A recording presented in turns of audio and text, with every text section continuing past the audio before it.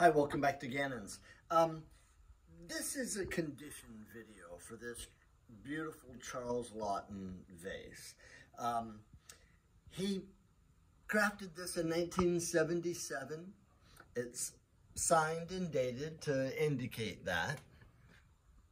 And those of you who collect Charles Lotton's work will recognize his distinctive pulled feather. This is flared and ruffled. The color is nice. I think on the photographs, it looks like these uh, indentations are, are yellow. They're not. Um, they do have a bit of a frosted uh, glaze to them, but this is simple. It's beautiful. It's unmistakably Charles Lotton or some imposter. Um, but it's right here at Gannon's Antiques, and we've got it listed right now.